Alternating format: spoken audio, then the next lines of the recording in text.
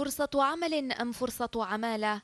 ذليبان dot com موقع إلكتروني في الظاهر يؤمن فرصة عمل للبنانيين الذين تتراوح أعمارهم بين 25 و 50 عاما والذين ضاقوا ذرعا بالأوضاع الاقتصادية والاجتماعية المزرية ولكن سرعان ما يتبين بعد وقت أن من يقع في شركه يصبح مجندا للعمالة أحد الزملاء في ال MTV عرض هذه الإشكالية على موقع ال MTV الإلكتروني.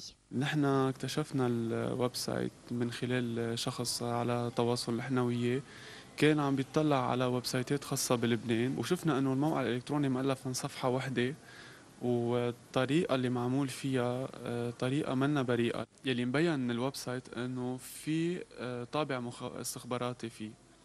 نحن ما بنقدر نحدد مصدر ال website لأن قلت لك ال website صعب تتعقب مصدره بحاجة لاجهزه كثير متطورة أكثر من الإمكانيات اللي نحن معنا إياها.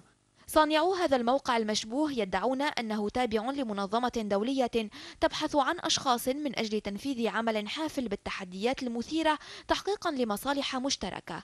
أما المكافأة فهي أشبه بالحلم. دعم مادي للمتصل ولعائلته من بينها المال الوفير والرعاية الصحية وتأمين المسكن وتعليم الأولاد خارج البلاد.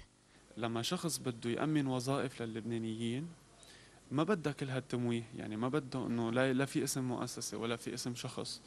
ومطلوب الاتصال بطريقة كثير مموهة بعيد عن البيت ولا الشخص من خلال أشخاص بالخارج. ففي أمور تطرح نقاط استفهام. يعني عمل أكثر عمل استخباراتي.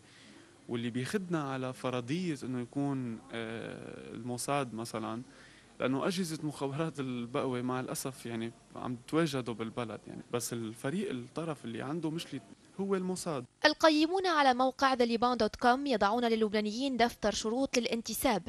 أولا التواصل معهم فقط من مقهى إنترنت بعيد عن المنزل وألا يأخذ طالب الوظيفة هاتفه المحمول معه.